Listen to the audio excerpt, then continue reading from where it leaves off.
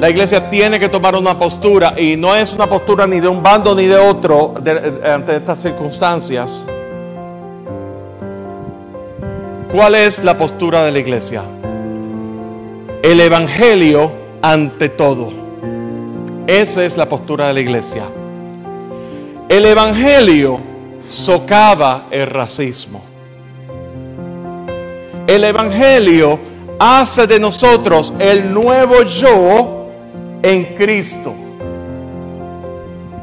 El Evangelio hace de nosotros el nuevo yo. ¿Cuál es el verdadero yo? Esa es la pregunta. Ese es el desafío. ¿Cuál es tu verdadero yo?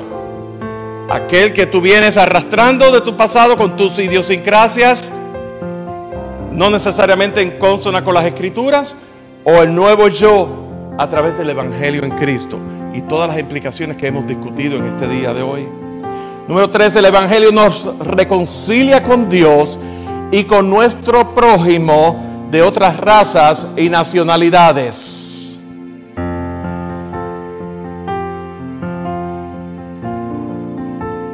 Si somos reconciliados con Dios, tenemos que ver nuestra identidad es en Cristo Jesús. Ese es el nuevo yo. ¿Verdad? Entonces nuestra identidad con otras razas y nacionalidades tenemos que buscar esa reconciliación. El Evangelio nos ubica en la centralidad de Cristo. Ese es tu referente tiene que ser tu referente. Número tres, el, el Evangelio nos une los unos a los otros en su.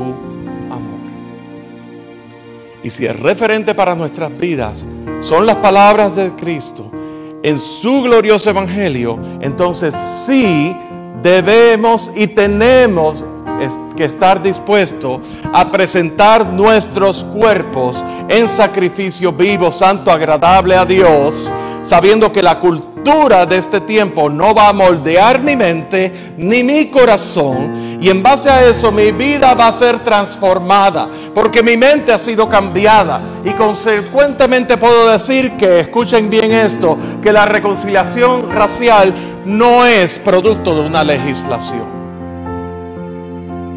Yo puedo legislar todo lo que quieran legislar. Y es importante elegir personas que legislen conforme a, los valores de las escrituras, ¿verdad? Y ese es el derecho que nos ha sido dado en esta nación. Y gracias al Señor por ese derecho. Pero la reconciliación racial no se legisla porque es un asunto del corazón. La, reconciliación racial tampoco es una promesa electoral. Estamos en año de elecciones. Justamente recuerdo la última vez que yo compartí una palabra similar a esta. Estábamos en año de elecciones también. La, la, reconciliación racial no es una promesa electoral. La esperanza de reconciliación racial es posible solamente a través del Evangelio. El yo al que llamamos verdadero se ha de transformar en un nuevo verdadero yo por medio de la palabra. Y solo así las palabras de ese cántico que hemos cantado en el día de hoy podremos clamar al Señor con corazón sincero y derramado delante de Dios, que a la luz de tu palabra mi mente sea renovada para experimentar tu perfecta voluntad y mi vida consagrar al Dios de mi esperanza, tu santo nombre exaltar y por siempre adorar.